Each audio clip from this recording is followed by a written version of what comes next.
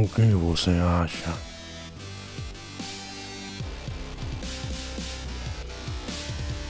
Eu arrancar a sua cabeça e colocar no triturador de carne.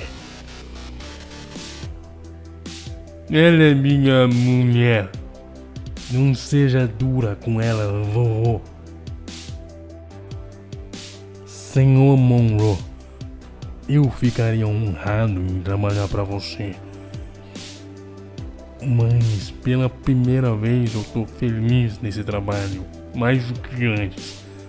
Então desculpa. É. Eu não consigo ouvir.